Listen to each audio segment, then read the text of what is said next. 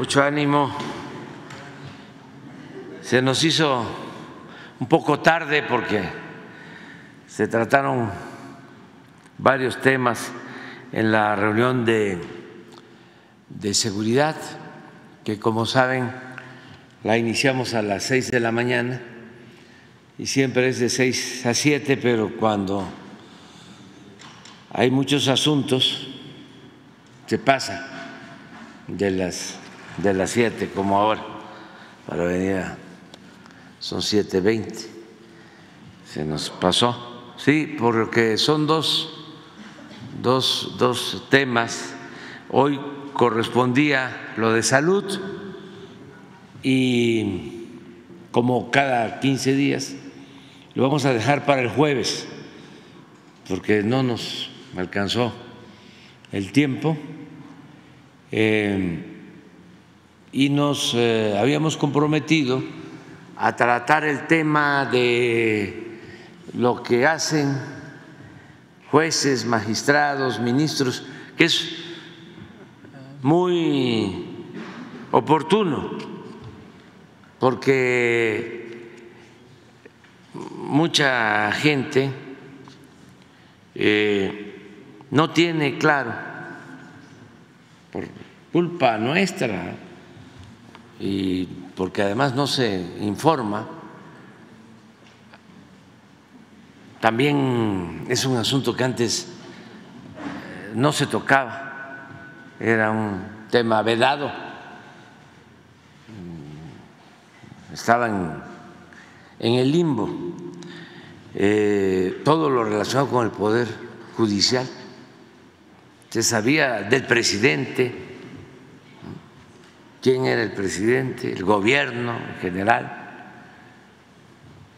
un poco sobre el Poder Legislativo, sobre las cámaras, el Senado, los diputados, pero el Poder Judicial, jueces, magistrados, ministros, Consejo de la Judicatura,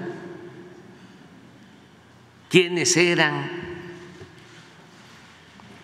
ya no hablemos de los jueces, porque está difícil que se conozca a los jueces, son más de mil, y es difícil que alguien conozca a diez, y los magistrados también como mil, y es difícil que alguien sepa de diez. Bueno, ni siquiera los ministros, que son once, los conocía, ahora más. Entonces, todo esto, pues, eh, ha llevado a que se propone, porque es nuestra facultad, una reforma al Poder Judicial y no se entienda bien por qué genera tanto escándalo.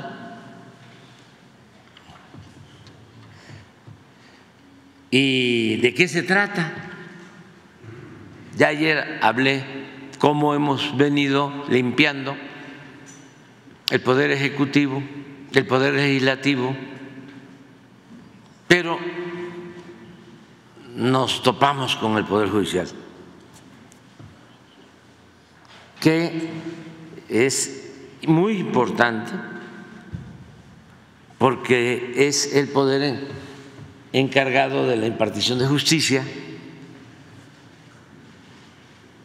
y de cuidar que se respete la Constitución, las leyes. Y hemos llegado en nuestro país como parte de la crisis, de la decadencia, a que ese poder se convirtió en protector de las mafias, del poder económico y del poder político. Entonces se limpia el poder ejecutivo de corrupción, se limpia el Poder Legislativo, pero eh, falta limpiar el Poder Judicial, porque está mal. Eh, era un poder donde se acumulaba eh, lo que se consideraba no importante para la llamada clase política o para los potentados.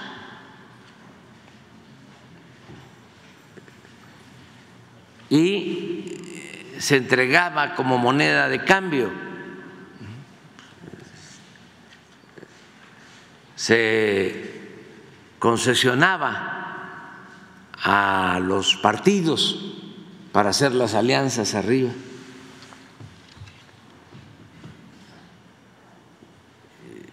Y esto viene de tiempo atrás. Les voy a hacer eh, la síntesis también para hacer la exposición más sencilla, después vienen datos, pero me gustaría que pusieras este, de favor, eh, Jesús, este, un fragmento, ayer lo vi, de una ah, comedia de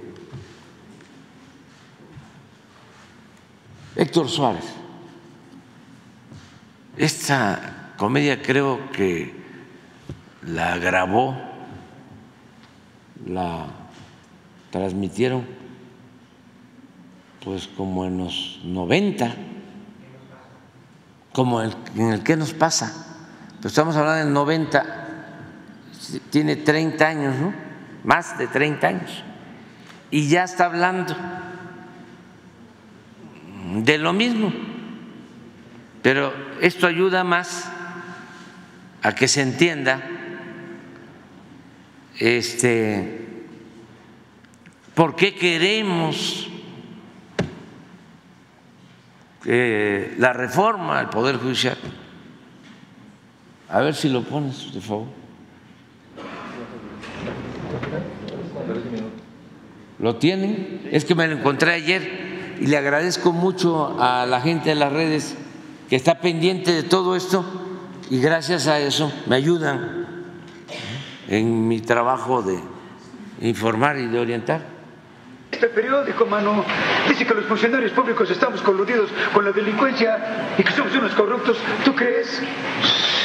De generalizar, mano. Habemos horrísimas excepciones. Tratamos de hacer nuestro trabajo honradamente, ¿o no? Afirmativo 10, 14. Ahí está. Desgraciados.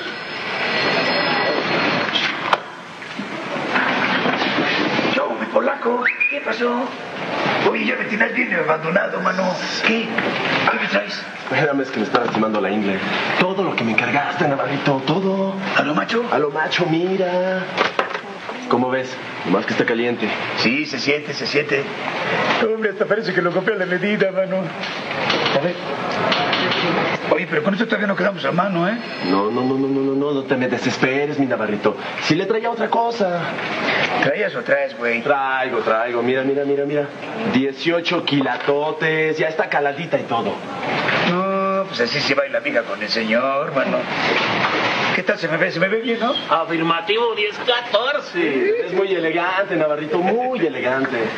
Oye, pero ¿estamos a mano? Ya vas. Mano a mano hemos quedado. Nada me debes, nada te debo, ¿sale? No se hable No más. se hable más, órale. Bueno, ¿qué tal?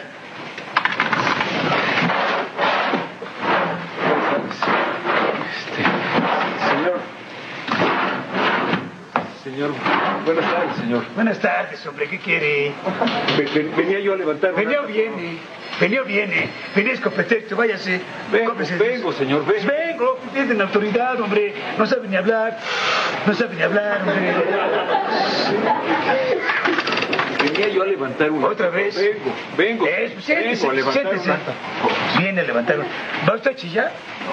Entonces, ah, rapidito, porque estoy muy ocupado. A ver, dígame.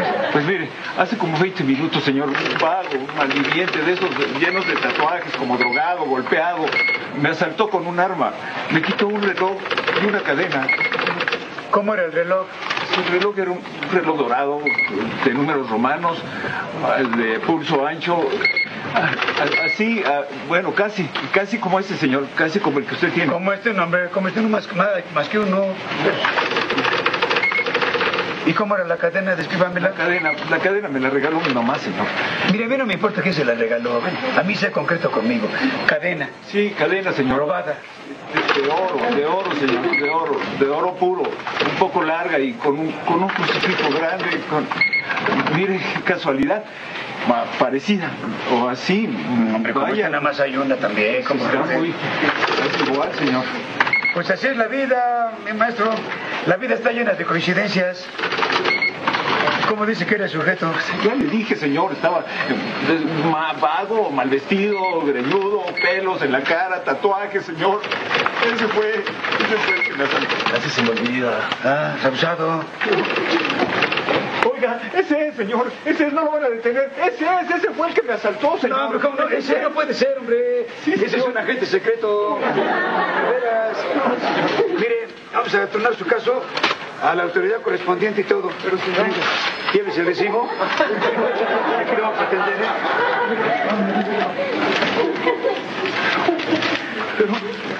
Pero por Dios, ¿qué nos pasa? No, pero no es ese. Hay otro. Hay otro. Pero espero que se vea bien. Sí se escucha. Se ve bien, sí. Pero ahí es que hay otro que es más. Buenos días. Eh, Ay, licenciado, perdón. Pues Yo creí que era cualquier... Veníamos a ver lo ¿Qué de... pasó con que veníamos? ¿Venía o no viene, licenciado? Vienen. Venimos, Eso, ni Navarrito. modo que venían, pierden la autoridad. Y ustedes ni modo que pierdan la autoridad. Navarrito, ¿qué pasó con los amparos de mi cliente? ¿Otra vez? Pues si ya tiene un amparo del amparo. Acuérdese, Navarro, que es por los delitos a la violación de la ley de instituciones de crédito. Vamos a hacer una cosa. ¿Por qué no me los piden por docena? Así me evitan trabajo a cada rato y a ustedes les puede salir más barato. Ustedes me dicen cómo, yo les hago el debido descuento y además dejan al cliente en su casa porque miren, acá están los orejas de perro nomás con los flashazos. Navarrito, Navarrito, es que ya tiene dos autos de formal prisión. ¿Y eso qué? Se pueden convertir en libertad condicional. Bueno, pues no habiendo otro asunto que tratar, que tenga buen día, Navarrito. Órale, que le vaya bien. Ándale, Dios. Hasta luego. Hasta luego. Órale. Nos vemos para el siguiente amparo, ¿eh? Sí, señor. Ojalá que me traigan algo de Dublín. Híjole, ¿quién como estos buenos hombres de negocios, verdad? Conocen Europa, Australia, las Islas Caimán, Dublín, España. Híjole. No, hombre, trabajar para ellos sí es divino.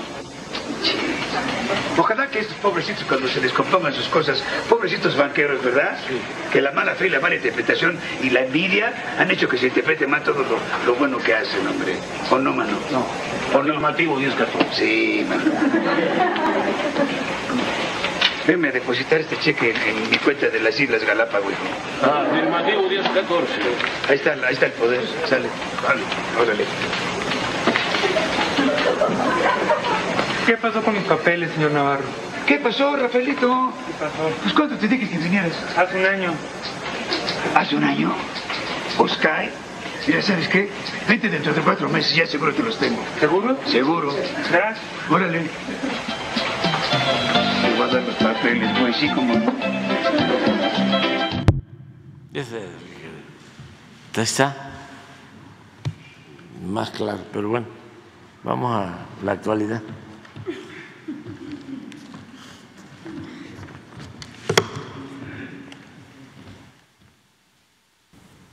Muchas gracias, presidente. Bueno, el día de hoy queremos eh, presentar información relevante alrededor de la reforma al Poder Judicial. Como sabemos, ha habido pues mucha manipulación alrededor de esta reforma, muchas mentiras, eh, y muestra de ello son algunos de los casos que vamos a presentar aquí.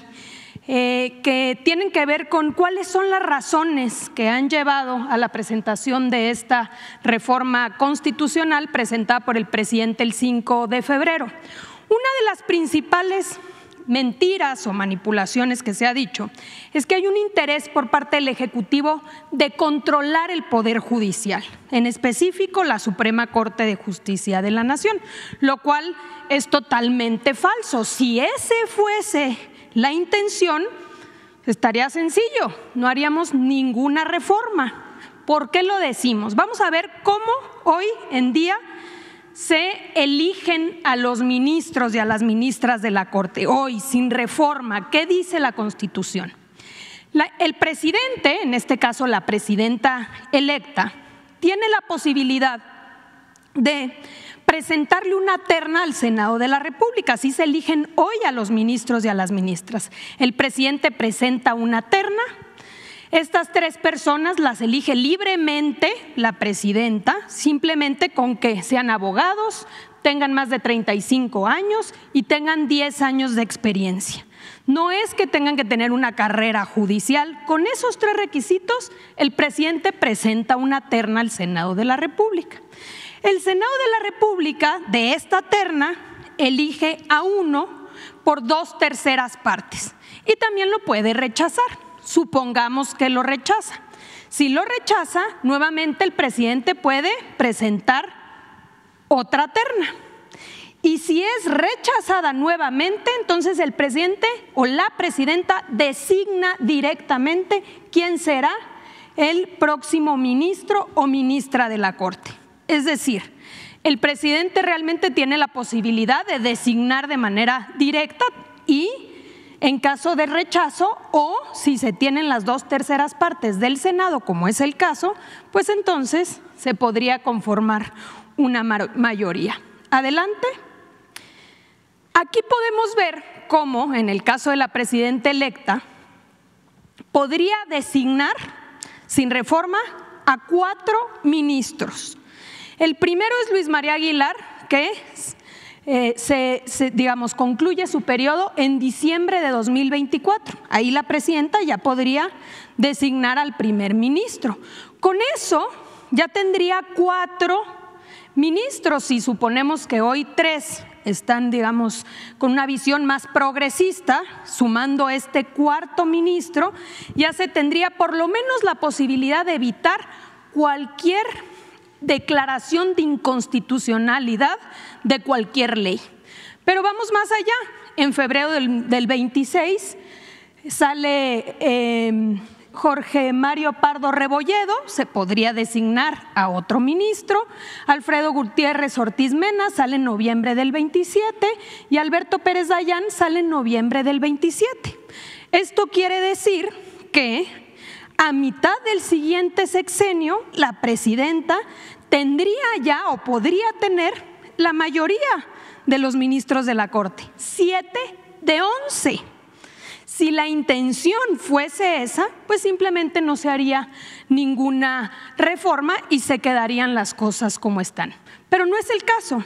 La reforma lo que está planteando es que sea la ciudadanía la que participe, el pueblo de México a través de un proceso democrático que pueda acudir a las urnas y pueda votar por quién considera son los mejores perfiles para ser ministros de la Corte, magistrados y jueces eh, en su caso. Adelante. Por el otro lado, sabemos muy bien que la problemática no se concentra solamente en la Suprema Corte. La problemática y los vicios que hemos constatado en el Poder Judicial permean todo el sistema. Está en el caso de los jueces, de los magistrados y también en el caso de los ministros. Y hay varios eh, casos que vamos a presentar el día de hoy.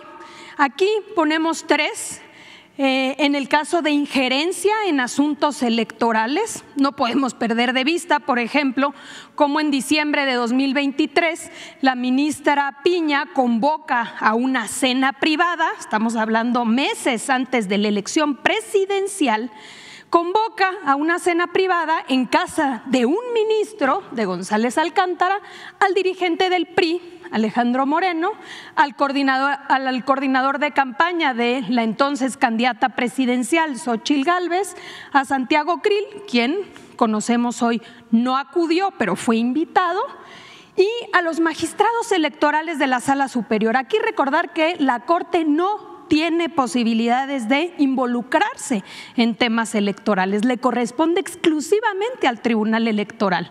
Bueno, pues tenemos este antecedente que da cuenta de la injerencia en asuntos electorales. Otro caso relevante, recordemos que en julio del 24 un juez de distrito le ordena al Tribunal Electoral que designe a dos magistrados eh, para poder integrar el Tribunal Electoral totalmente indebido. Nuevamente, los jueces no tienen competencia en materia electoral pero aún así este, em, este juez decide ordenarle al tribunal. ¿Qué, ¿Qué, sucede? Que el tribunal, por supuesto, rechaza por completo esta decisión y le dice, juez, tú no tienes ninguna competencia. Vale la pena señalar que esta decisión se da unos días antes de calificar la elección presidencial. Y finalmente, un tercer caso muy reciente, apenas en agosto de este año, donde la ministra Piña admite un recurso presentado por el dirigente del PAN, Marco Cortés, para que la Corte pueda interferir, pueda interpretar y definir los criterios de la asignación de plurinominales. Recordamos que hubo todo un ambiente respecto a la supuesta sobrerepresentación nuevamente que le toca al Tribunal Electoral determinar, aquí la ministra Piña decide darle entrada a que sea la Corte la que determine estos criterios. El ministro ponente dijo, no somos competentes, no puedo decidirlo. Adelante. Tenemos también constancia de los vicios que ha existido en los supuestos procedimientos de selección de jueces, los exámenes, que mucho se ha dicho ahora de los mejores perfiles llegan a ser jueces. No podemos desconocer en 2019, como muchos otros casos, los escándalos en venta de exámenes que han habido alrededor de estos casos. Aquí podemos este, constatar cómo incluso fueron destituidos eh, los que estuvieron eh, a cargo de la escuela judicial por haber vendido estos exámenes en 186 mil pesos. Pero también se puede acreditar cómo en estos concursos de oposición las impugnaciones son elevadísimas de aquellos que no quedan en los exámenes. ¿Por qué? Porque consideran que hay un alto nivel de influyentismo y de inequidad. Es decir, que en estos exámenes muchas veces quedan los cercanos a los ministros o los cercanos a los magistrados. Adelante. Adelante. También podemos ver el enorme entramado de familiares que participan en el Poder Judicial, el nepotismo. Aquí en diciembre de 2022, el propio Consejo de la Judicatura, son datos del Consejo de la Judicatura, revela lo siguiente. La mitad del personal, el 49%, que equivale más o menos a 24.546 personas, tiene al menos un familiar en el Poder Judicial. El 85.4% de los magistrados y el 67% de los jueces tienen familiares en el Poder Judicial. Los magistrados tienen en promedio 4.7 familiares trabajando en el Poder Judicial. El 23.7% del personal del Poder Judicial tiene más de cuatro familiares trabajando en la institución. La persona que acumula más familiares en el Poder Judicial tiene 26 parientes trabajando en la misma institución, incluyendo un magistrado, 13 secretarios, dos actuarios y 10 oficiales. Esta información se obtiene del registro voluntario que realizan los trabajadores. Es decir, tú tienes que señalar bajo protesta de decir verdad quiénes son tus familiares. Pero hay que considerar, y como se sabe, muchas veces se declara aquellos que tienen tus mismos apellidos, pero no necesariamente aquellos parientes políticos.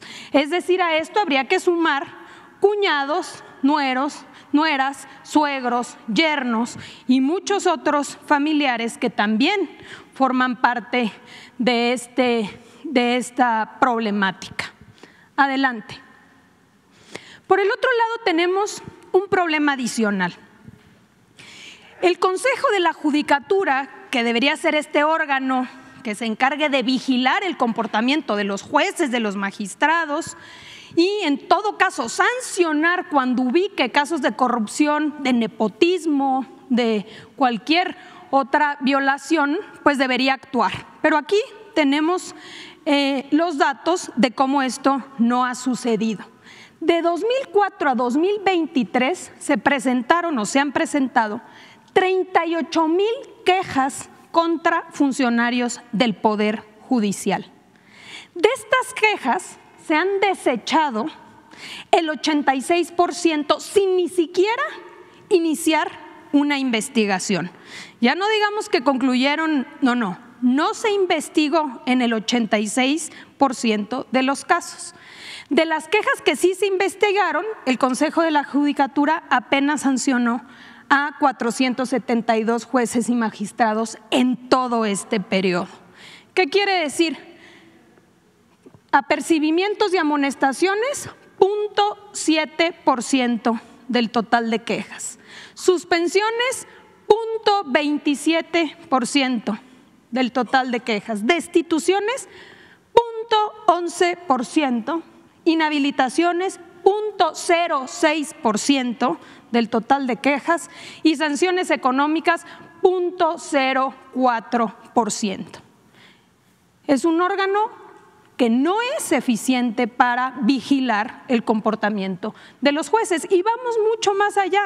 En el caso del Ejecutivo, de las dependencias, gobernación y muchas eh, dependencias del Ejecutivo se han presentado en los últimos meses, de enero de 2023 a la fecha, 72 denuncias contra jueces y magistrados, que aquí muchas veces se presentan en, en cero impunidad. Bueno, de estos 72 casos que se han presentado ante el, ante el Consejo de la Judicatura, ninguno a la fecha ha sido resuelto y ninguno a la fecha ha sido sancionado. Adelante. Y finalmente, para darle la palabra a la secretaria Rosicela, el tema de remuneraciones. La Constitución en el artículo 127, fracción segunda, establece con claridad y a la letra lo leemos.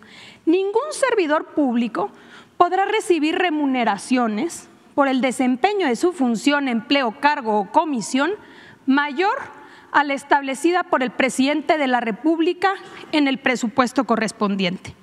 Así de literal lo establece la Constitución. ¿Qué ha venido sucediendo? Que los criterios de la Corte han sido de resistencia a cumplir con este, con este precepto constitucional diciendo a nosotros no nos aplica. ¿Por qué? Primero dicen, porque los ministros designados antes de 2009, que fue la reforma, ya tenían un derecho adquirido. Entonces, como viene la reforma, pues los ministros que estaban antes, esos no les puedes reducir el sueldo. Pero después dicen, ah, pero es que tampoco a los ministros que entraron después de 2009, porque sería discriminatorio, no puede haber diferencias salariales. Entonces, a los anteriores no, pero a los nuevos tampoco. Y luego, un argumento más, dicen, es que es demasiado ambiguo, que se entiende por remuneración del presidente, que integra eh, la remuneración del presidente. Está muy claro que integra la remuneración del presidente. Aquí lo podemos ver en el caso del salario y las prestaciones del presidente, eh, que ascienden con con ambas a 161.538 pesos y en el caso de los ministros a 460.783 pesos, sin contar muchos otros conceptos que se han venido sumando, como alimentos, camionetas, gasolina, telefonía, entre muchos otros privilegios que, como hemos dicho, suman más de 700 mil pesos mensuales, violando así flagrantemente la Constitución cuando se supone debería ser este órgano que vigilara el cumplimiento de la Constitución. Ahora vamos a escuchar a la secretaria Rosicela todos los casos que dan cuenta del por qué la necesidad de esta reforma.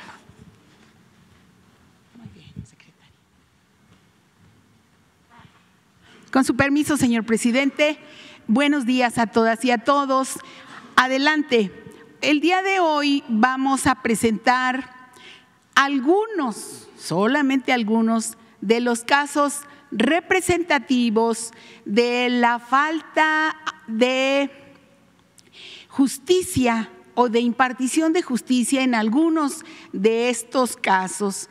Casos que hace justicia lenta, los sabadazos, la parte de la imposición de sentencias que pasan años y años y la gente no recibe una sentencia. Entonces, eh, aquí vamos con la primera. Eh, rápidamente, estos son los casos de jueces que otorgaron libertad a delincuentes en fines de semana, viernes, sábado, domingo, sabadazo clásico. Adelante.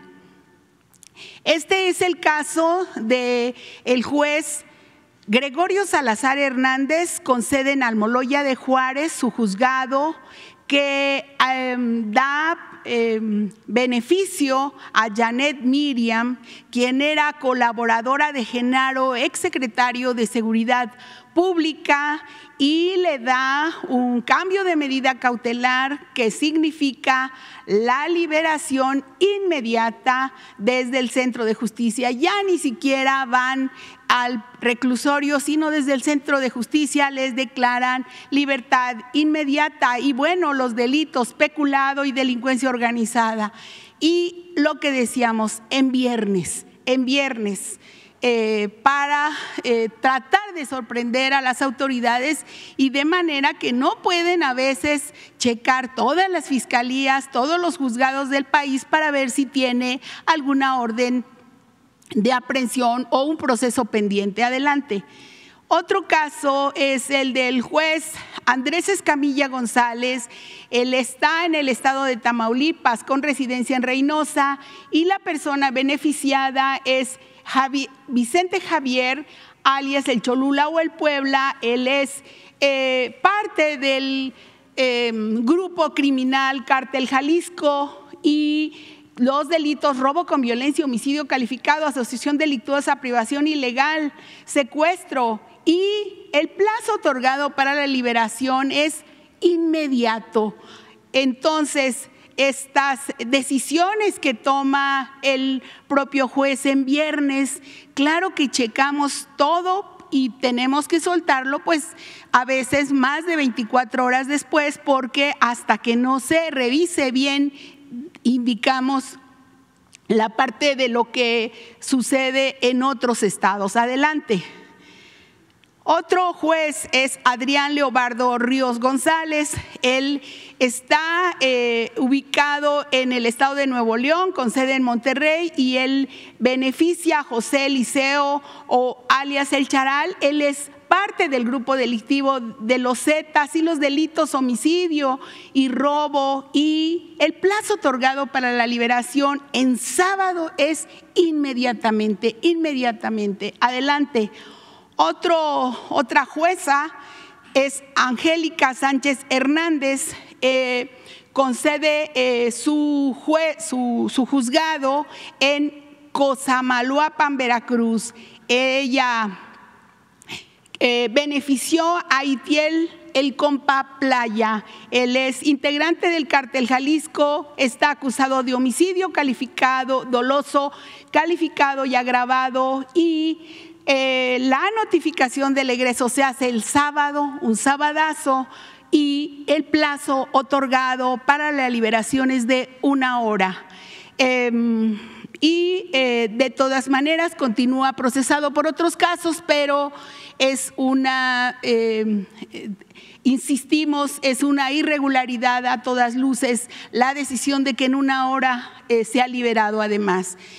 Em, otro juez, Rogelio León Díaz Villarreal, con residencia en Almoloya de Juárez, pues él este señor juez le dio la libertad al señor Abraham, alias El Rodo, él es hermano del el líder del cártel Jalisco Nueva Generación.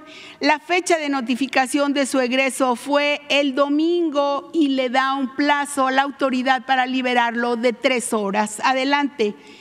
Otro juez, Daniel Ramírez Peña, él está también su, residencia en el juzgado de eh, eh, Almoloya de Juárez.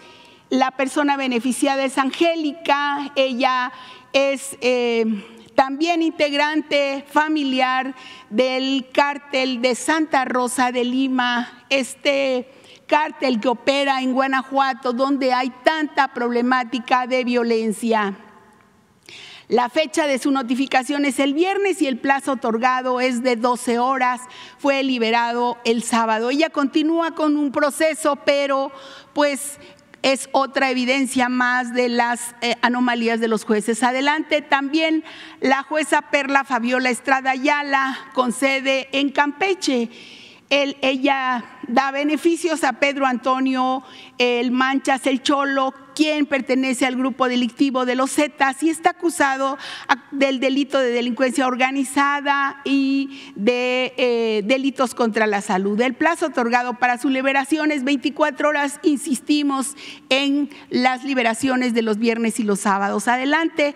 También la jueza benefactora Diana Montserrat Partida Arámbulo. Ella es una jueza sexta de distrito especializada en ejecución de penas de la Ciudad de México y da la libertad a Marcelino el Fantasma, integrante del cártel de Sinaloa y los delitos contra la salud y portación de armas de fuego y la libertad la da en viernes y el plazo otorgado para su liberación 24 horas adelante.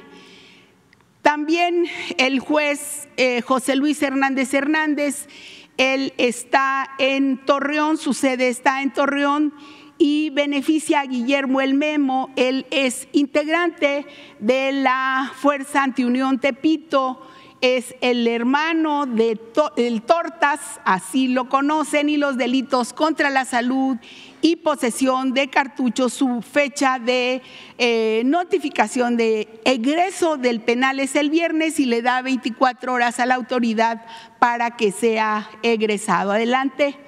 Esos son eh, algunos casos de jueces ahora ¿Cuáles son algunos delincuentes beneficiados también por el Poder Judicial de los más relevantes? Adelante, pues tenemos el caso de el ex gobernador de Puebla, Mario Marín. Él es acusado por el delito de tortura cometido en agravio de una eh, importante periodista. Entonces, este caso es donde la jueza Angélica del Carmen Ortuño Juárez, por el delito de tortura, le da un cambio de medida cautelar y lo manda a su domicilio particular en Puebla y aparte le pone Guardia Nacional afuera de su domicilio, dispone de elementos para que sea cuidado permanentemente. Entonces, aparte de, que le da una libertad a domicilio de manera anómala, pues tenemos que ocupar elementos de la Guardia Nacional para estarlo cuidando. Adelante. También está el caso del exdirector general de Pemex, Emilio, también quien le hacen un cambio de medida cautelar que no estaba debidamente fundada y le dan brazalete y también eh, la de que no pueda salir de la Ciudad de México, así como la entrega de su pasaporte. Adelante. También está el caso de tres detenidos este año por la Fiscalía de Guanajuato. Eh, este caso es de un grupo de delincuentes que opera ahí en Guanajuato. Uno de ellos es el hijo del eh, delincuente conocido como El Marro y la juez María del Refugio Castañeda. Guillén no le da prisión preventiva a estos delincuentes y les da la libertad. Adelante. Y también en el caso del exgobernador de Chihuahua, acusado por peculado y asociación delictuoso. Él se llama César Horacio. Este caso es eh, llevado por la jueza Hortensia García Rodríguez. Ella está en eh, el Distrito Judicial de Morelos. Ella es jueza de control allá en, en Chihuahua. En este caso, la jueza, tras convocar a una audiencia de revisión de medidas, cambió la medida de prisión preventiva a una prisión domiciliaria, aportación de brazalete electrónico y entrega de pasaportes, pero vean qué tipo de perfil de delincuentes son. Adelante.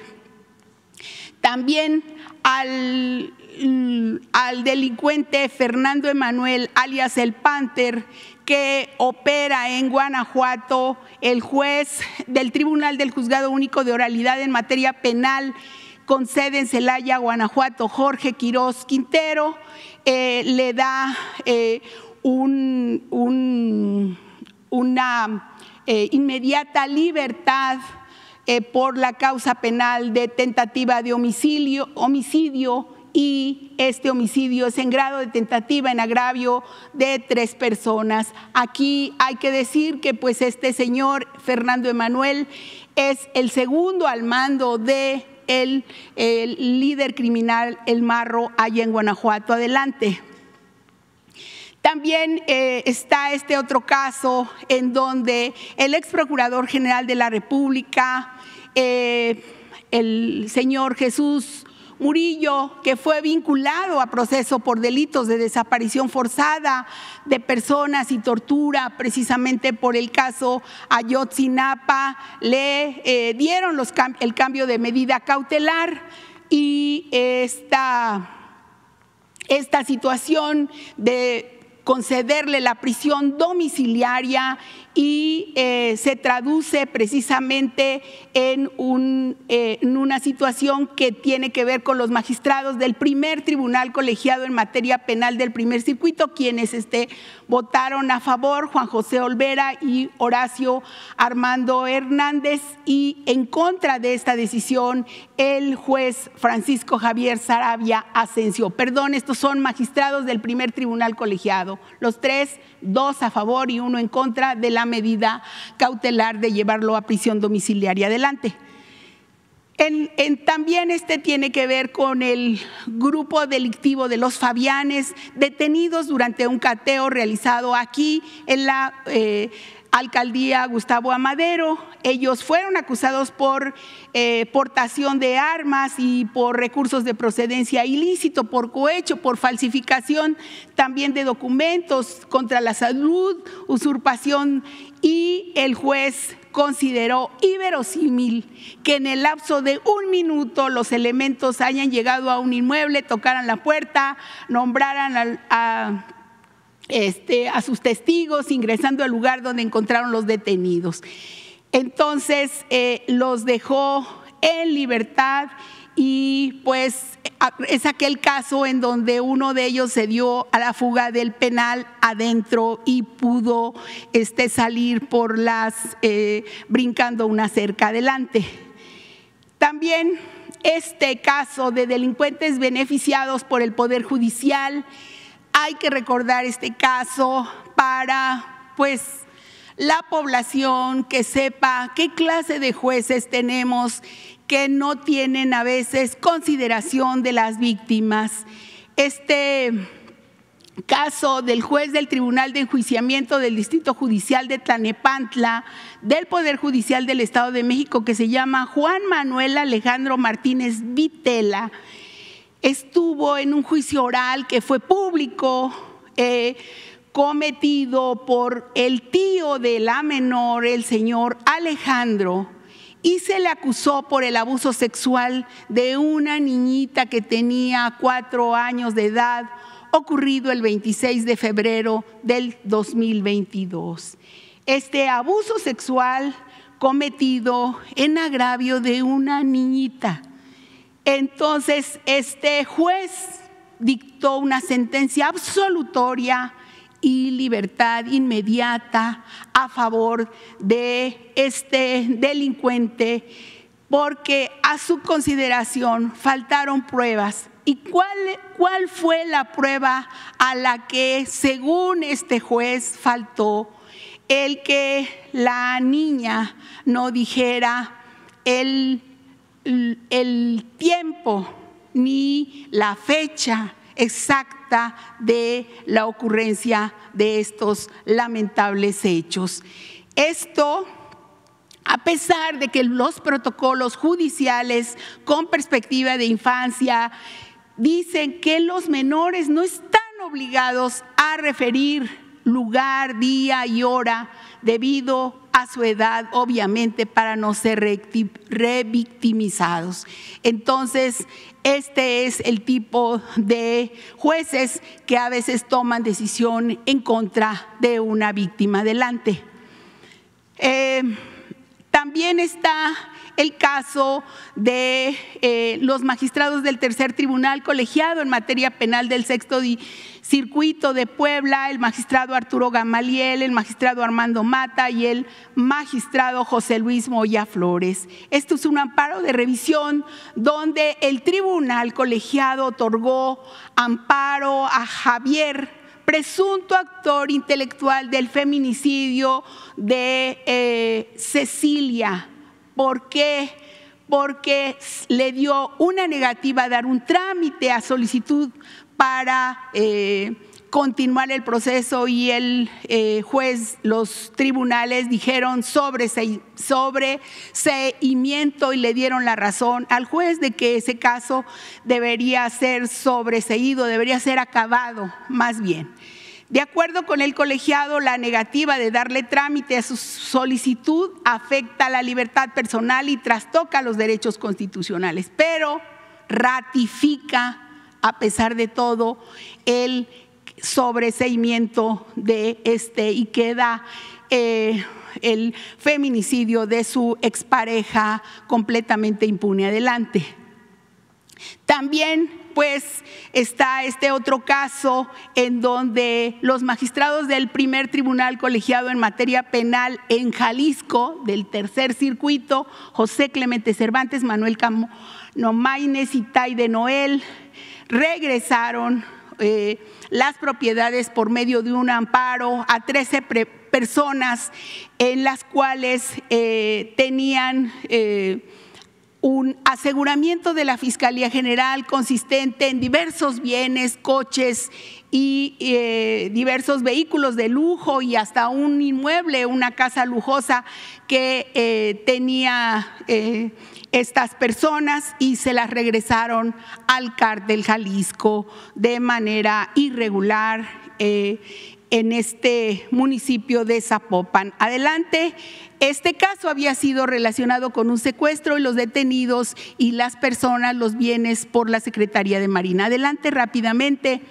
Bueno, decir aquí, presidente, que de acuerdo a los datos de la Fiscalía General de la República, 24 mil personas de procesos penales federales están sin sentencia de los cuales 1.326 personas con juicios penales pendientes de entre 5 y 10 años, 2.488 personas con juicios de 10 a 15 años y 767 personas tienen en la cárcel 15 a 20 años sin haber sido eh, sentenciadas. También 232, imagínense 232 personas que tienen más de 20 años en un penal federal y que no han recibido sentencia. Adelante, por favor. Es el caso del Israel Vallarta, del señor Ismael Vallarta, quien tiene 18 años con 9 meses y se encuentra privado de su libertad por los delitos de secuestro. Su detención se dio en el marco de un, de, unas, eh, de un montaje difundido en el noticiario de Carlos Loret con la participación en la tortura de Luis Cárdenas Palomino, quien se desempeñaba como director de Seguridad Federal de la Policía Federal. Adelante. También está el caso de Giovanni Fernández Robledo Rodríguez y Paul Uriel Martínez Rodríguez, quienes fueron detenidos el 13 de julio, acusados de portación. Después de seis meses les imputaron el delito de secuestro y a la fecha no cuentan con una sentencia, ya han transcurrido 11 años y dos meses privados de su libertad. Adelante, ya me tardé. Luego está el caso de Gabriel Hernández Gámez, quien fue detenido el 28 de diciembre del 2016 acusado de robo con violencia y en un segundo delito por robo de un cajero. Actualmente lleva ocho años y eh, tampoco ha recibido ninguna sentencia. Adelante, pues hay algunos otros casos. Dale, adelante, por favor. Adelante, por favor. Eh, este es eh, otros casos de jueces que no autorizan órdenes de aprehensión y traemos algunos de estos casos como las eh, no autorizan órdenes de aprehensión la jueza Adriana Yolanda Vega Marroquín contra el exgobernador de Tamaulipas señalado por delincuencia organizada y operaciones con recursos de procedencia ilícita adelante. Este otro juez que se llama Juan Fernando Alvarado López también eh, no autoriza orden de aprehensión contra Francisco Javier, también exgobernador de Tamaulipas, por la modalidad de lavado de dinero y defraudación fiscal y también pues la investigación que se lleva por delincuencia organizada adelante. También el caso de el juez Genaro Gerardo Genaro Alarcón López, así como de los magistrados Alberto Torres Villanueva, Manuel Barcena Villanueva y Guadalupe Ramírez Escobar. En este caso, eh, estos eh, magistrados no, y, juez no hacen una, niegan una orden de aprehensión contra Genaro por el delito de enriquecimiento ilícito, el exsecretario de Seguridad Pública y eh, esta decisión fue confirmada por estos magistrados. Adelante, por favor.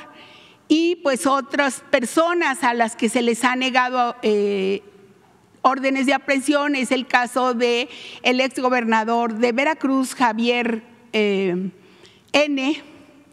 Lo niegan los magistrados del noveno tribunal colegiado en materia penal José Manuel Torres, Michel Franco González y Juan Carlos Ramírez Benítez, magistrados del, noveno tribunal colegiado en materia penal del primer circuito. Este es del caso de Veracruz. Adelante. Y eh, este último, con este terminamos, presidente. Recordar el caso de el caso Colosio. El 4 de enero de 2024 la Fiscalía General de la República solicitó una orden de aprehensión en contra de Jorge Antonio Sánchez Ortega.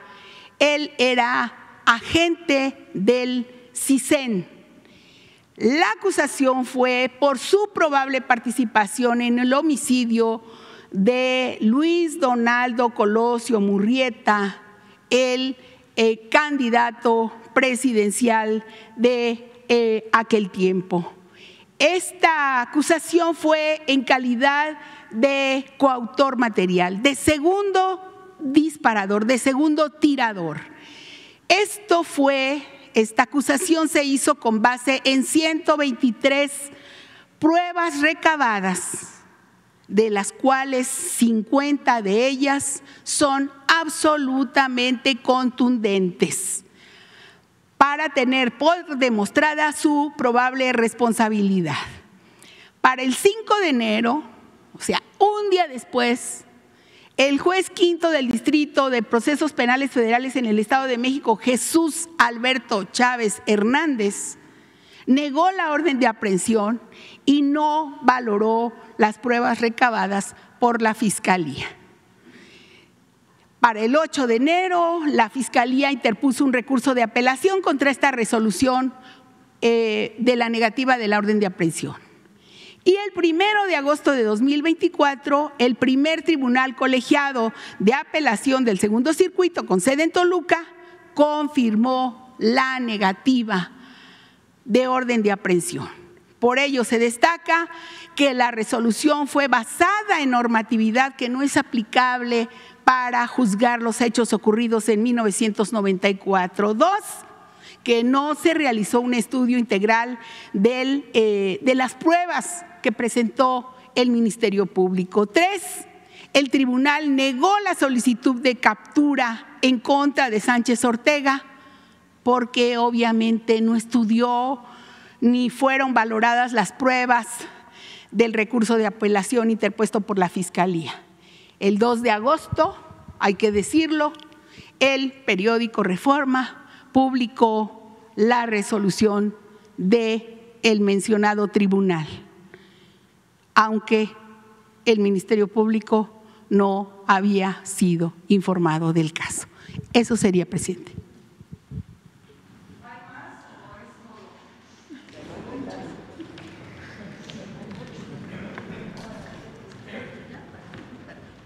Hay bastante, pero mm, se nos va todo el tiempo y este mejor si hay preguntas sobre el caso las vamos este, eh, desahogando.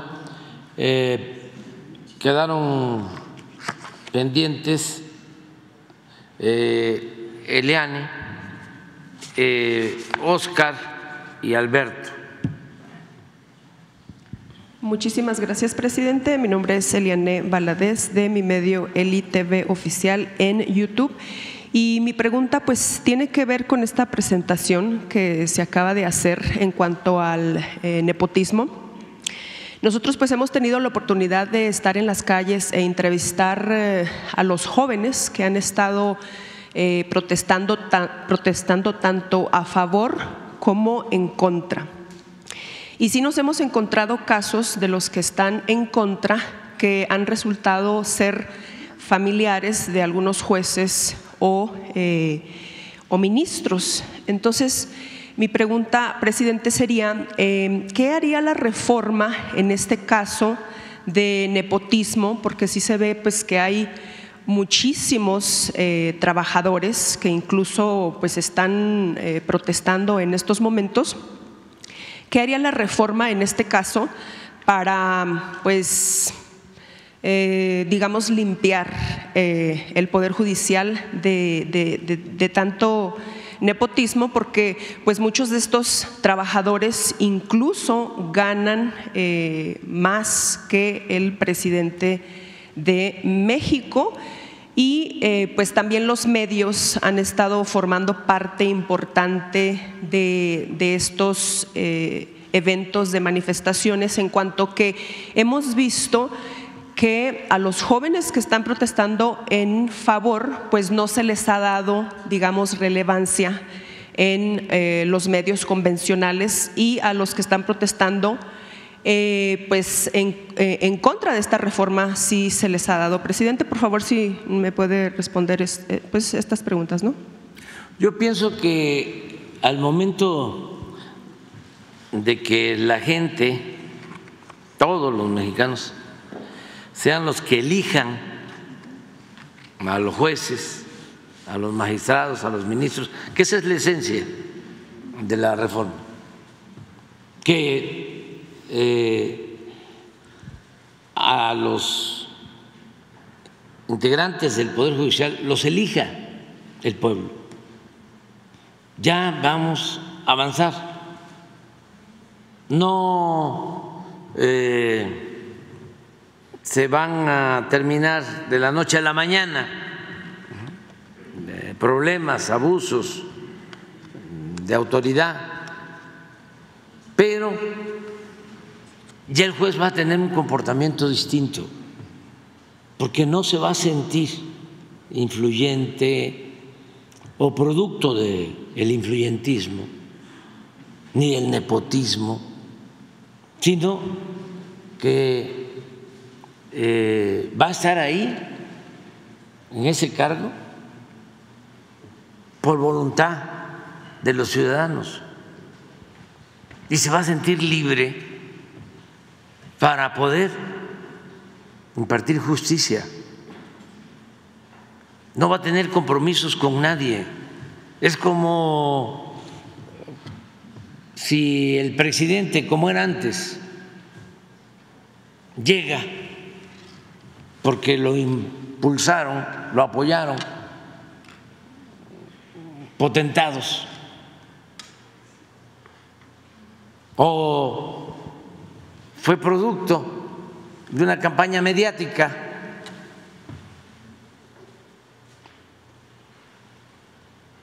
Lo impulsó, lo apoyó la oligarquía, porque así era. Yo fui víctima de la oligarquía,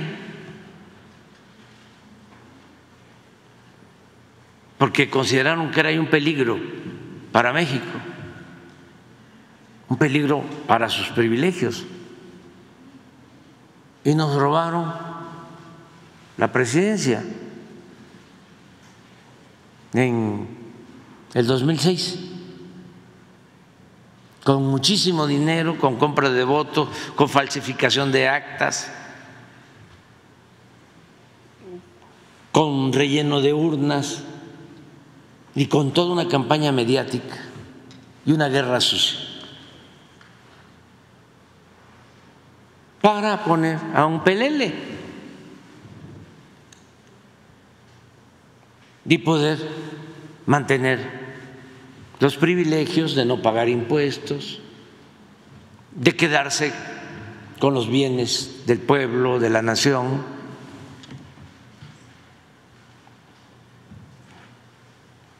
poder seguir humillando, ninguneando a los mexicanos y estar al servicio de una minoría rapaz. Cuando no es así, el que llega a ocupar un cargo, llega a representar al pueblo, a todos, a ricos y a pobres, del campo, de la ciudad, sin clasismos, sin racismo, sin discriminación. Es lo mismo lo que se busca con la reforma del Poder Judicial, que elijan. Miren, en este caso, de el probable eh, segundo tirador en el asesinato de el licenciado Colosio, candidato del PRI. Es evidente que es un asunto político, de encubrimiento. Les voy a dar mi testimonio sobre el caso. Yo no estaba enterado porque es una investigación que llevó a cabo la Fiscalía, que dicho sea de paso es autónoma. Y de repente, no sé si primero o después, un periodista vinculado a Salinas de Gortari.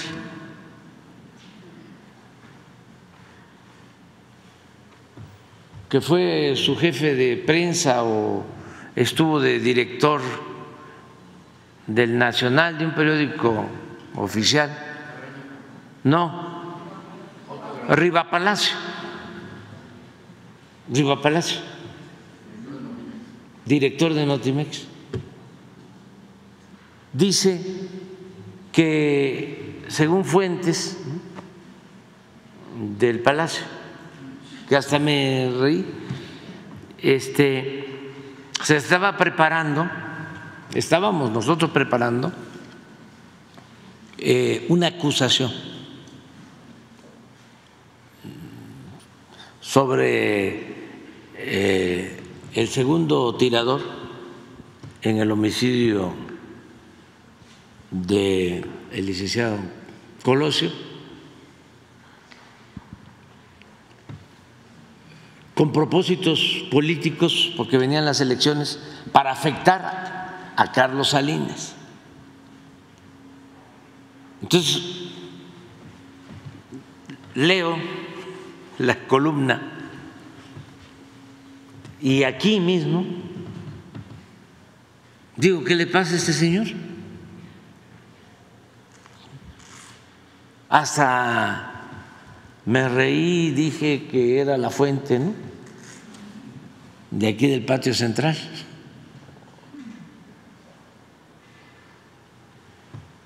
Pero como a la semana o a los 15 días, en efecto, me informan de la Fiscalía que estaba abierta la investigación, que sí existía la investigación y que iban a solicitar orden de aprehensión. O sea, él sí estaba informado, yo no. Entonces en su momento reconocí de que tenía razón, que no era un asunto de nosotros, pero que sí estaba abierta la investigación. Porque pues, en los sótanos ¿no? de las mafias hay comunicación constante.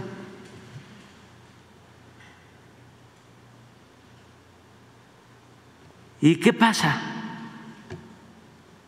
Presenta, ah, bueno, les agrego, yo no sabía tampoco, pero aquí sí, creo que ni la inmensa mayoría de los mexicanos, no sabíamos de que García Luna, yo me eh, enteré hace un año de que García Luna había entrado jovencito al CISEN de Salinas en 1989. Ni por aquí me pasaba. Bueno, llegué a pensar y todavía no estoy tan seguro que lo supiera Calderón, porque no se sabía nada. Pues resulta que García Luna comenzó a formarse en este grupo de espionaje que creó Salinas, que se encargaba de cosas muy, muy feas.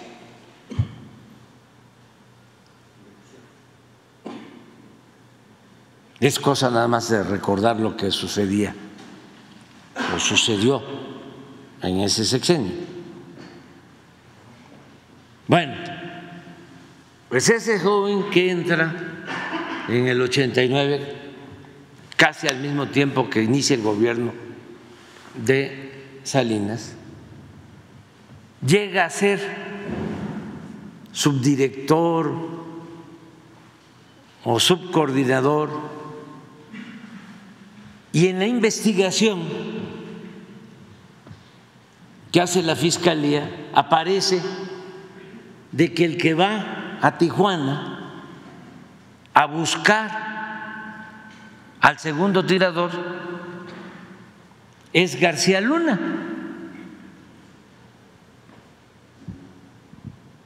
En 1994. O ya después de estar casi seis años en el CISEN.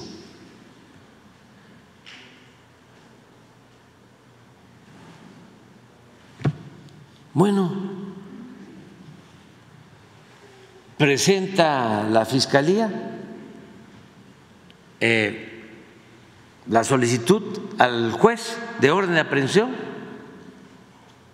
y me consta, porque me mandaron el informe por escrito de la Fiscalía, que le dice el juez al Ministerio Público, esto no procede, esto es una maniobra política del presidente.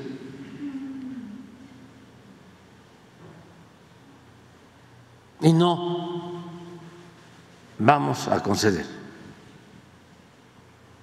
la orden de aprehensión. Cuando no tenía yo nada absolutamente que ver, porque soy respetuoso de la autonomía de la Fiscalía.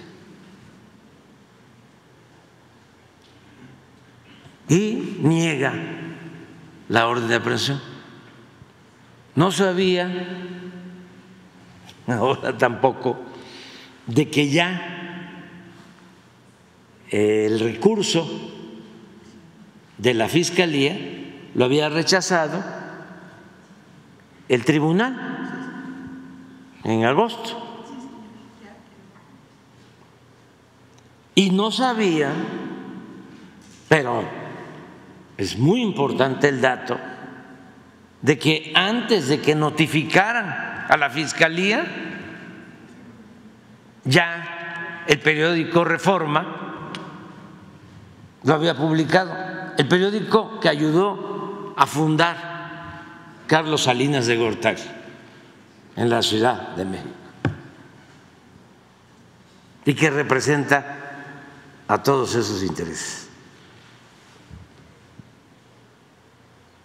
Entonces, urge la reforma al Poder Judicial. Y sí va a ayudar mucho, porque aquí eh, se habla de delincuentes, de el crimen organizado, pero lo que más les preocupa a los que están en contra de esta reforma es que van a perder sus privilegios porque el Poder Judicial está al servicio de potentados. al servicio de la delincuencia de cuello blanco. Hay ministros que dependen de los hombres con más poder económico en el país. Están al servicio de las grandes corporaciones económicas financieras, nacionales y del extranjero. Y esos son los que no quieren que haya Estado de Derecho. Quieren mantener el influyentismo, la corrupción y el Estado de Chueco. Aunque dicen que eh, la reforma no garantiza que, pues, que no haya corrupción. ¿Qué, dice usted a esto? ¿Cómo no va a garantizar la reforma eso? Sí, eh, al momento que los jueces, magistrados, ministros sean electos, van a tener que actuar con rectitud. Primero, van a tener la arrogancia de sentirse libres no van a ser títeres, peleles, súbditos de nadie. Van a tener como jefe al pueblo de México, al pueblo que es el soberano en una república. Y luego la reforma también propone crear un tribunal al interior del Poder Judicial, pero no dependiendo o dependiente de, como sucede actualmente con el Consejo de la Judicatura, de los mismos ministros porque si no, pasaría lo mismo, ¿no? ¿Desde cuándo no hay un juez en la cárcel?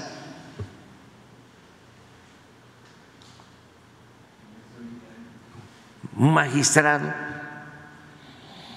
un ministro.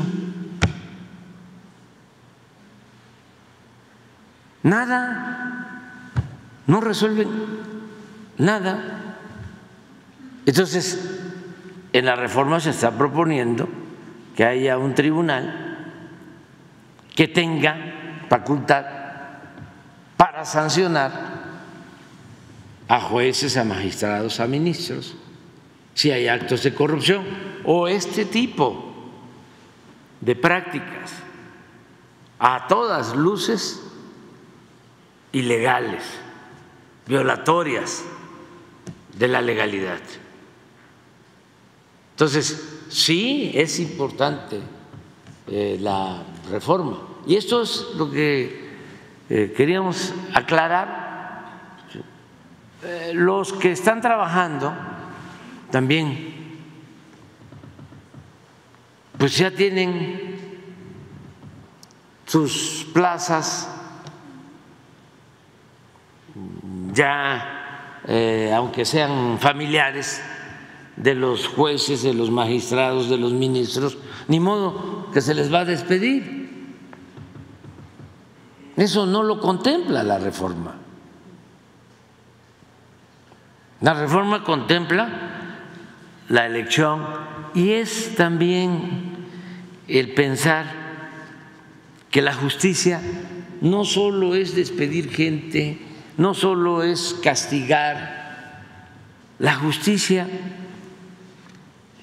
es en mucho prevenir.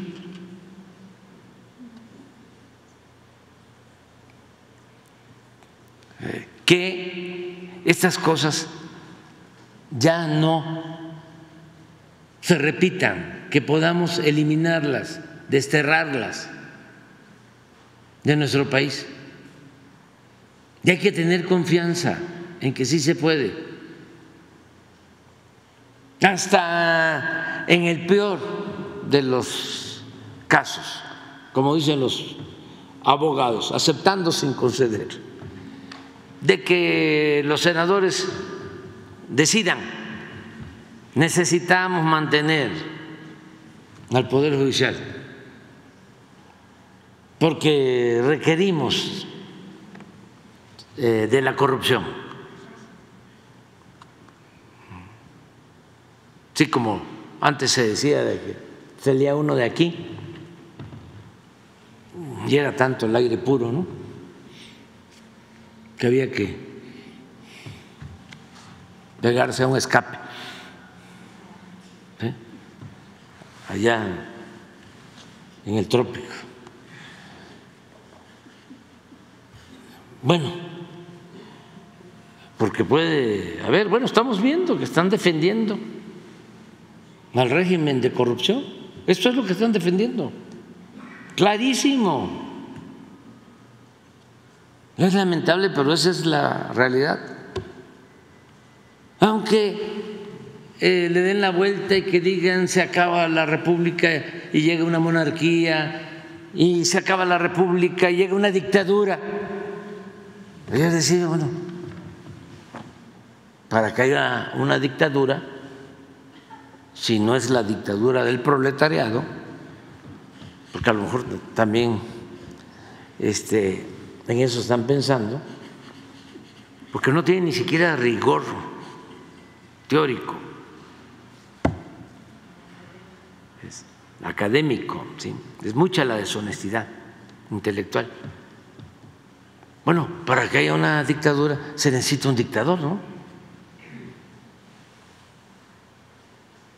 O una dictadora. Yo ya me voy. Solo que este, estén pensando, Krause, de que ya no va a ser la coronación de la reina, como que decía que era una monarquía, lo que iba a llegar.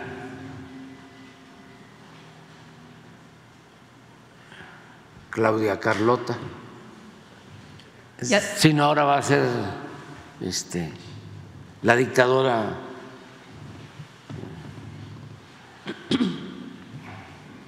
Claudia Porfiria. Este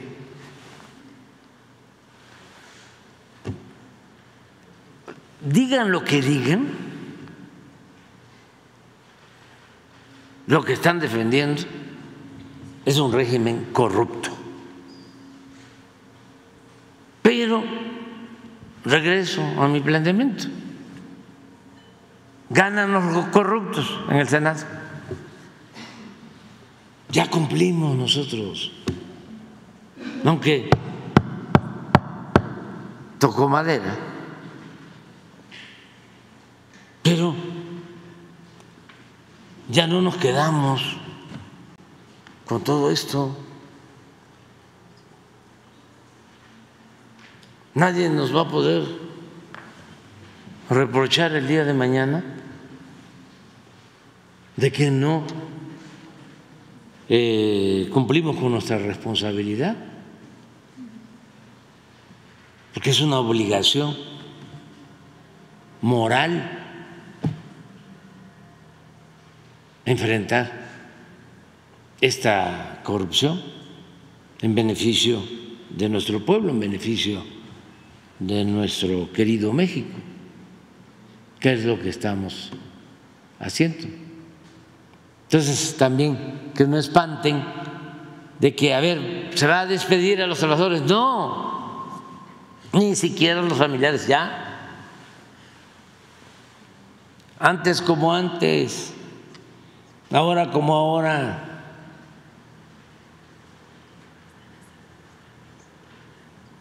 Es arriba. Siempre los privilegios se dan arriba y hay que limpiar de privilegios y de corrupción al gobierno como se barren las escaleras de arriba para abajo y es cortar el copete de privilegios. Y se avanza muchísimo. Y eso es lo que está de por medio. Muchas gracias, presidente. Eh, mi pregunta, mi segunda pregunta sería, señor presidente, ¿en dónde se puede reportar eh, el mal estado de las carreteras federales, especialmente eh, los Reyes Lechería en ambos sentidos, ya que usuarios pues, en, nuestras redes sociales nos han comentado que se encuentran varios tramos en pésimo estado, especialmente por las últimas lluvias que han habido. Y pues dado al pésimo estado ha habido incluso este, accidentes y también pues las entradas, digamos, eh, principales del Estado de México a la, eh, a la, a la ciudad. Em, si hay algún número o cómo, cómo, cómo la población. Son federales es en comunicación. Si son estatales es al gobierno que corresponde, ¿sí? al gobierno del Estado. Y sí hay que atender todo lo relacionado con las carreteras, el mantenimiento. En el tiempo de nosotros destinamos pues como 15, 20 mil millones al año al mantenimiento de carreteras. Mm, la mitad para carreteras eh, atendidas de manera directa por la Secretaría de Infraestructura, de Obras Públicas, y la otra mitad por un convenio que encontramos de la pasada administración para darle mantenimiento a ciertas carreteras. Por ejemplo, la carretera en Querétaro, Ciudad de México. Esa tiene una concesión, hay un convenio con una empresa para darle mantenimiento. Eh, fueron convenios que se entregaron al final de la administración anterior. Los respetamos, se hizo un descuento, porque en general esos convenios sumaban 10 mil millones aproximadamente. Incluye, por ejemplo, la carretera de Arriaga a Tapachula, la carretera de Coatzacoalcos a Villahermosa, la carretera de Campeche a Mérida. Entonces, logramos un descuento de mil millones por año. Y esos mil millones los eh, entregamos, se transfirieron a municipios de la montaña de Guerrero, municipios pobres también para la construcción de sus caminos de mano de obra artesanales. Eh, entonces son 10 mil millones fijos del presupuesto más otros 8 o 10 mil millones aproximadamente de la Secretaría de Comunicaciones, Transportes, de manera directa. De modo que eh, dedicamos pues como 150, 150 mil millones al mantenimiento de caminos en el sexenio. Sin embargo, hace falta más y eh, hace falta eh, trabajar mucho en los tramos estatales. Especialmente en el Estado de México, que es donde pues escuchamos muchas quejas, especialmente porque pues en otros años no se hicieron de muy buena, este, digamos, calidad. Y pues el día de hoy se ven los estragos, ¿no? Especialmente cuando llueve y pues se ponen en muy mala eh, Tiene que haber un plan para repavimentar carreteras libres, eh, también eh, atender las calles en las ciudades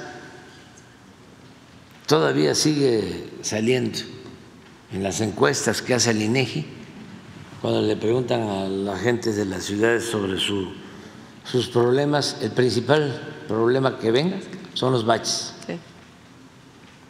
Y hemos destinado 5 mil millones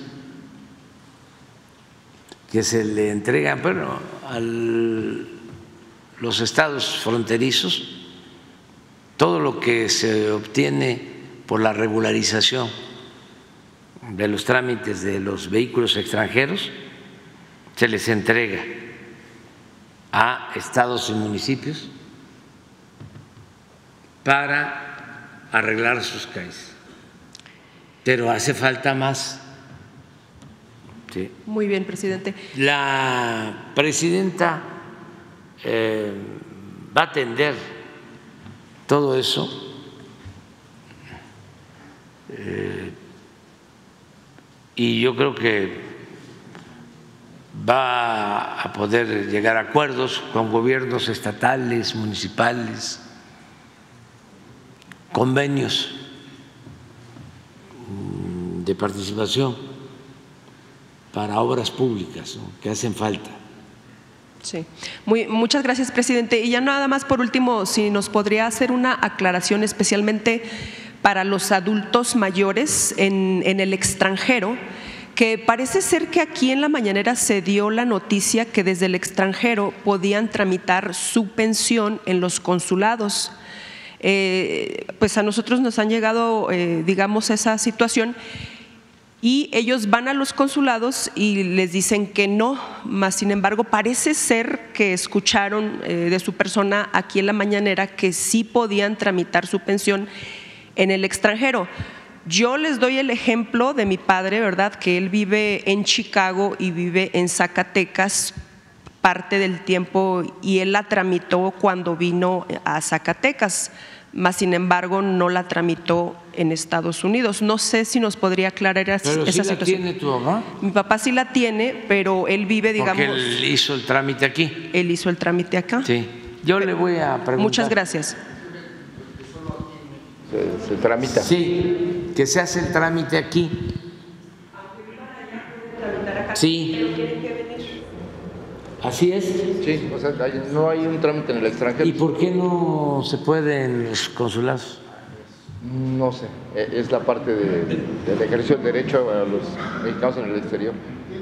Pero solo se tramita aquí hasta ahorita. Bueno, traemos la eh, respuesta. ¿Sí? Para este, ver por qué no se puede hacerlo allá, allá en, las, en los consulados. Porque son nuestros paisanos, son mexicanos.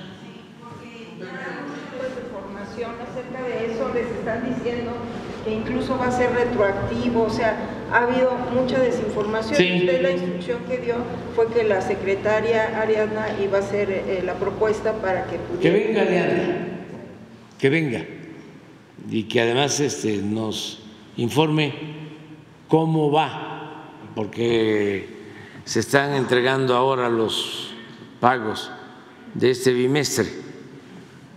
Que venga y que nos informe, puede ser el viernes, Ok. y, y que nos diga qué está pasando. Bueno, eh, mm, tenemos tiempo todavía. A ver, Óscar González. Buenos días, presidente. Oscar González de Radio Real 104.5 FM. Fíjense que un tema que ya se ha traído aquí a la mañanera respecto a una construcción de un puente de la comunidad mixteca en Ilamacingo, en Puebla, le agradecen el apoyo que está brindando usted y al mismo tiempo que puede, si se puede terminar en el tiempo que le queda y si ya se encuentra autorizado y si pudiera advertir a toda la población ahí mixteca pues que no se dejen engañar por algunas personas que pidan cooperación para dicho puente ahí en Ilamacingo.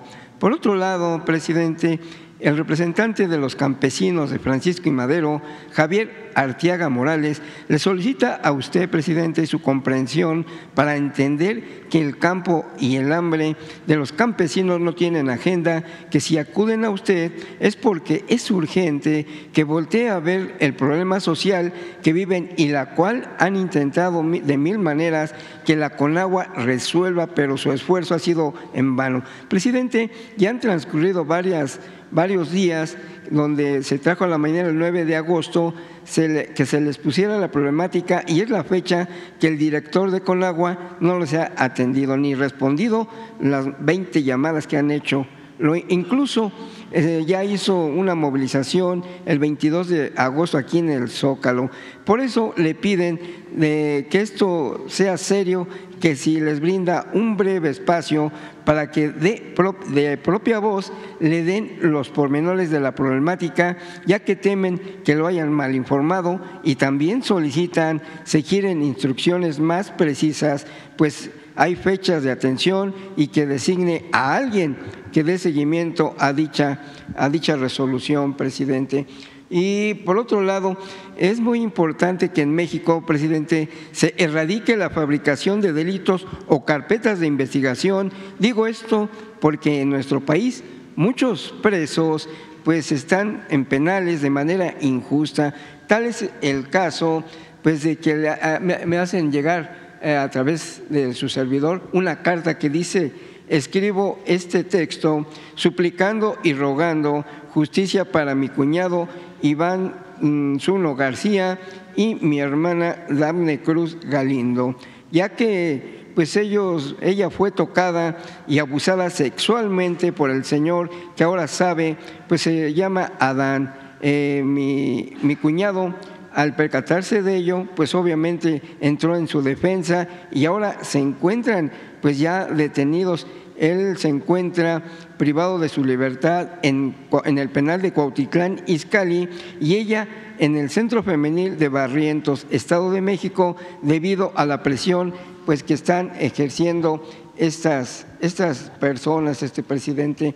Eh, también déjeme comentarle que, eh, pues, este, en otro, en otro tema, pues, eh, Aquí, en, el carácter de representante actual, eh, la Bermeja Unidad y Prosperidad por Guerrero, en la unidad de Ciudad Tasco de Alarcón, Guerrero, por este medio le pedimos su valioso apoyo para que en calidad de presidente de México, pues pueda interceder, interceder por, el, por la gobernadora Evelyn eh, Salgado Pineda del Estado de Guerrero para que repare el daño patrimonial del que ha sido objeto el periodo 2001 a 2005 por el entonces gobernador priista, licenciado René Juárez Cisneros, al realizar una obra en el tramo carretero denominada Vía Alterna sin decreto de expropiación.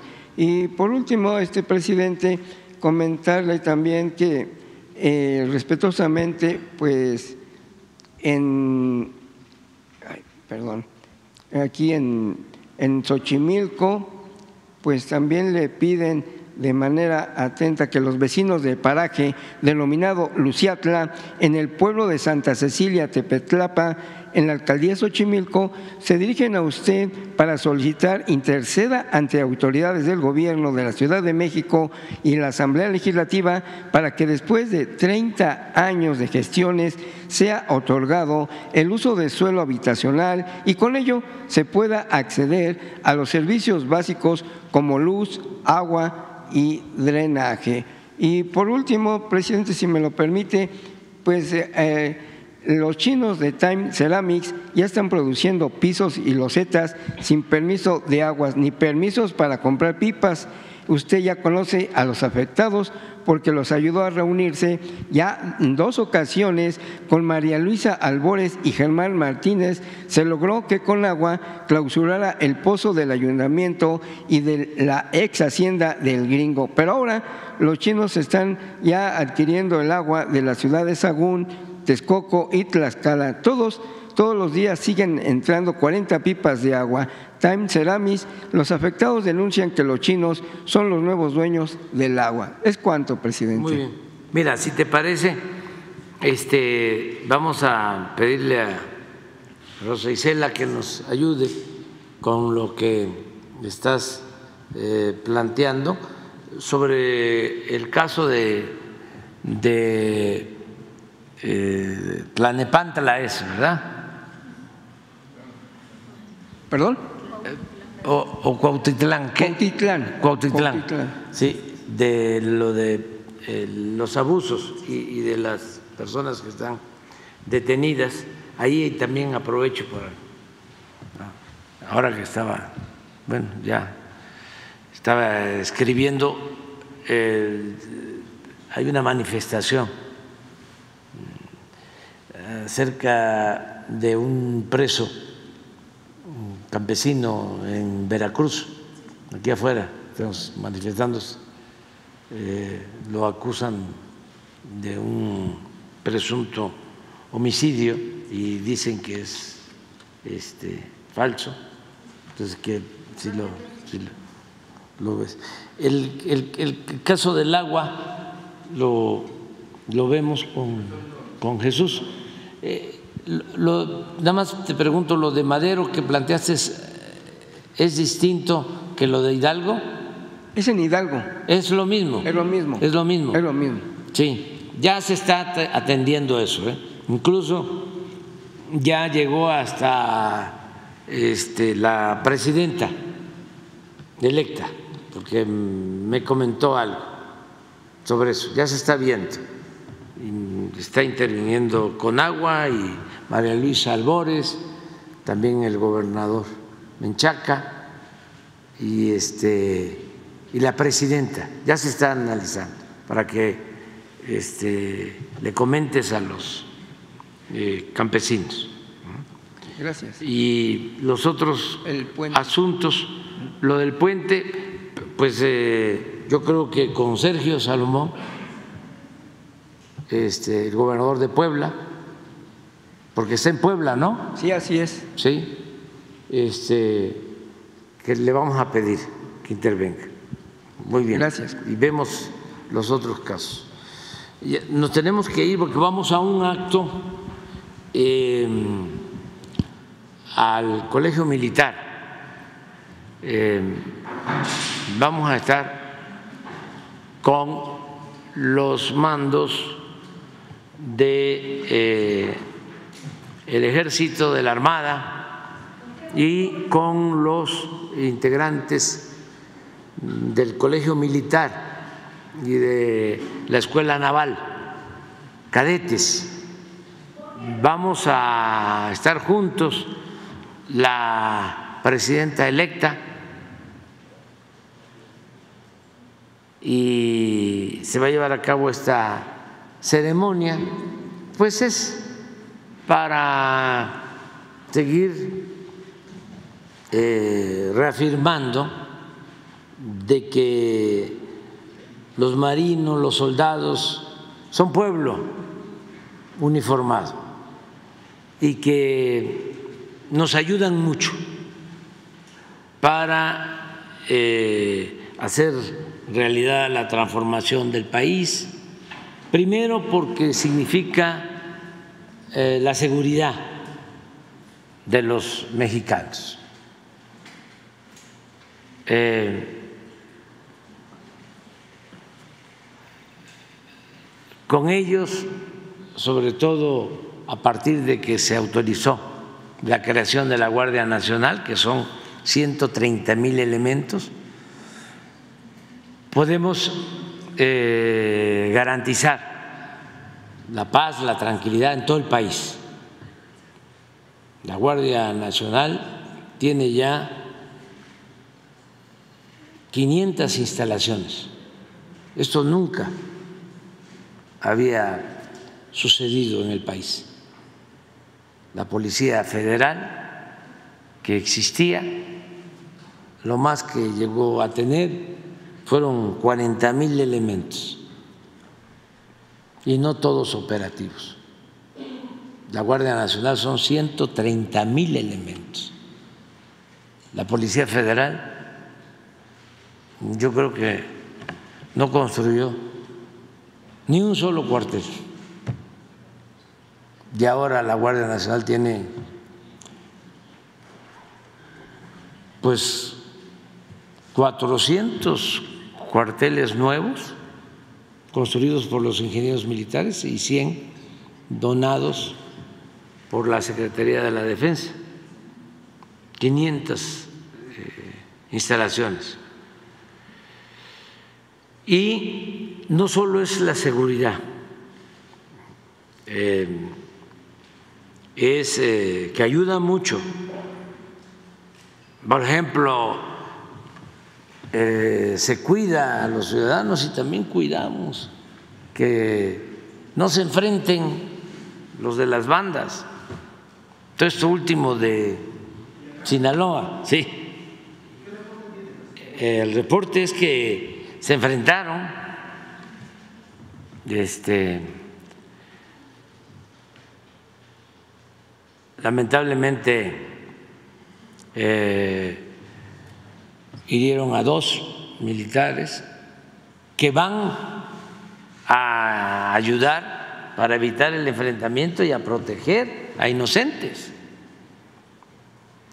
Lamentablemente falleció un sargento. Mandamos a su familia nuestras condolencias. Fallece en el cumplimiento de, su deber.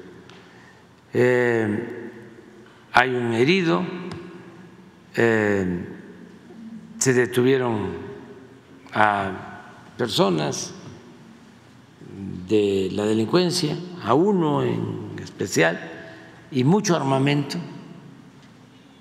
y decirle a los ciudadanos de Sinaloa y de Culiacán que eh, se está pendiente y se está actuando y hay elementos suficientes para garantizar la paz, la tranquilidad y que hasta ahora, afortunadamente, las cosas eh, se están tranquilizando.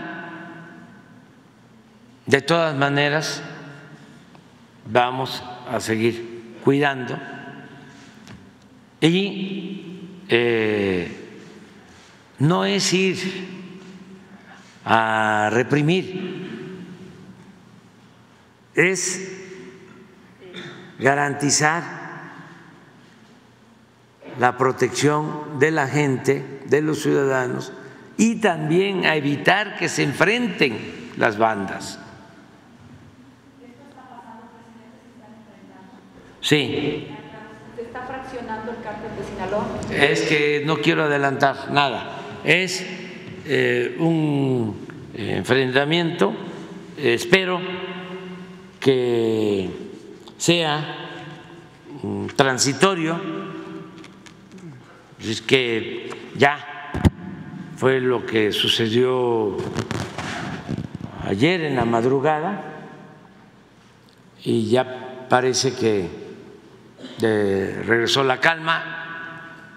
Y pedirles a todos pues que actúen de manera responsable. Y ya eh, el informe que tenemos en la mañana es que este, no hay enfrentamientos hasta ahora, desde ayer al mediodía eh, hasta la mañana de hoy eh, y ya hay protección de la Guardia Nacional y de las Fuerzas Armadas. Eh, todo eso es posible cuando se cuenta con el respaldo leal de las Fuerzas Armadas, la lealtad a los ciudadanos, la lealtad al pueblo. Y también eh, las Fuerzas Armadas pues, nos ayudan mucho en todo lo relacionado con la atención a la población que padece de fenómenos naturales, huracanes, inundaciones, temblores. Ahí están con el plan Marina, con el plan DN3 son los primeros en llegar y ahora nos están ayudando mucho también en el desarrollo del país, porque se están construyendo obras con ingenieros militares que eh, han significado mm, crear bienestar, empleos,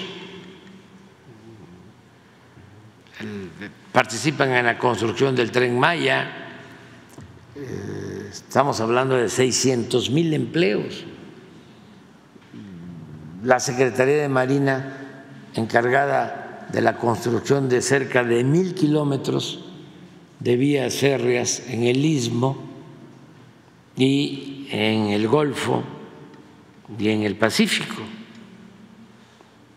Eh, nos ayudan mucho marinos, soldados, y ese espíritu eh, es el que también se está auspiciando, se está difundiendo en las escuelas. Ya en todos los planes de estudio de las escuelas, tanto las vinculadas a Marina como a la defensa, eh, hay materias sobre derechos humanos, protección, respeto a derechos humanos. Es un cambio, es toda una transformación. Entonces, por eso la presidenta este, consideró que era importante, antes de que tomara posesión, que la acompañara a tener esta reunión. Van a estar ahí los nuevos secretarios. Muy buena la opinión. No, ella decidió porque a ella le corresponde, pero decidió muy bien. Y son nombramientos claves. No se puede uno equivocar en eso. Yo no me equivoqué con el general Sandoval y con el almirante Ojeda. Y ella tampoco se va a equivocar porque los dos que se nombraron por el trabajo, pues uno eh, es jefe del Estado Mayor, desde luego que lo conozco, estaba todas las mañanas en las reuniones de seguridad, porque a las reuniones de seguridad asisten los secretarios de Marina, de Defensa y los responsables de los estados mayores, tanto de Marina como de Defensa. Entonces, él asistía. Y este, en otros informes. Entonces tengo buena este, impresión de él. Lo escogió bien la presidenta. Lo recuerdo porque este, encabezó, creo que el desfile, no el anterior, no, el 2022. Sí, ¿verdad? Sí. Siempre hay un comandante este, del desfile y él estuvo. Y en el caso de Marina, pues también lo conocí porque es eh, responsable o era creo que ya en estos días ya, ya lo sustituyeron, del plan del istmo. Es el almirante Morales. Eh, sí, también lo conocí. No sabía yo que el general Trevilla era de Campeche, pensé que era de aquí de la ciudad. Y sí sabía que el almirante Morales era de Oaxaca, de Sola de Vega, de Oaxaca. No es en la costa, pero está cerca ahí, el mar. Este. Sí, es muy posible que esté vinculado a eso. Pero, pues, eh, hasta el mismo señor eh, Zambada escribió de que no era conveniente la violencia o algo por el estilo.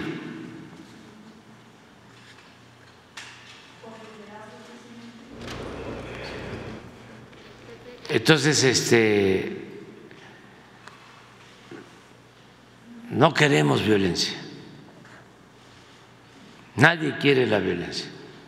El pueblo de Sinaloa no merece la violencia. El pueblo de México no merece violencia. En el mundo hay que desterrar la violencia. Hay que afiliarse, inscribirse, participar en el partido de la fraternidad universal,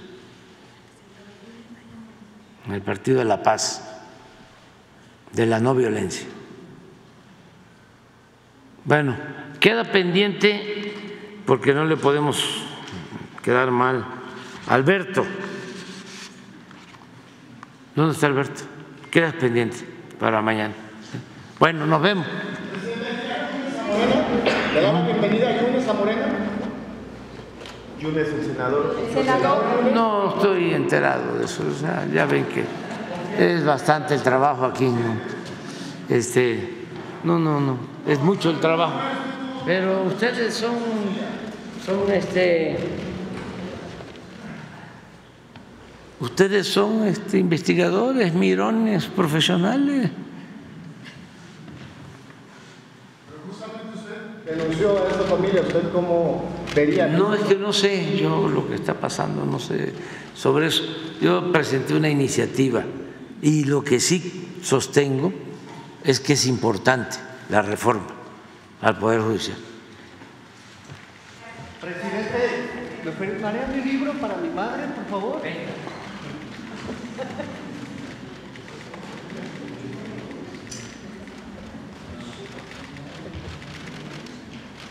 Tú eres inteligente, pero tu mamá es más inteligente. Eso sí. ¿Cómo se llama? ¿Cómo se llama? Silvia.